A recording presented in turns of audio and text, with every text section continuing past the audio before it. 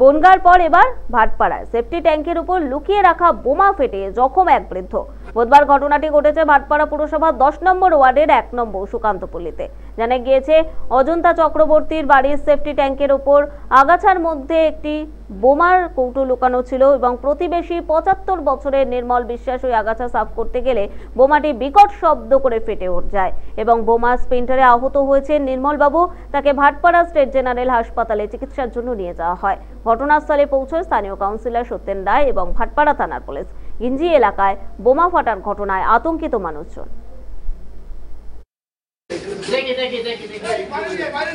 চিন্তা করার ব্যাপার যে একটা বাড়ির ভিতর কি করে বোম রেখে যায়।